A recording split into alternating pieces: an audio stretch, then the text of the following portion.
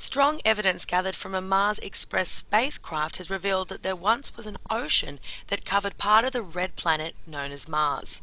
Sediments reminiscent of an ocean floor was detected within the boundaries of previously identified ancient shorelines on Mars.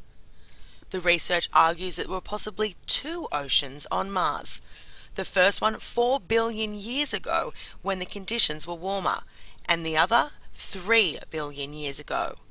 The more recent ocean would have been there for a million years. The water then would have been frozen back in place and preserved underground again, or turned into vapor and lifted into the atmosphere. The new research gives a new understanding of the mysterious red planet that once was possibly blue. Yet the question remains where did all the water go? Sally Turner, IB Times TV.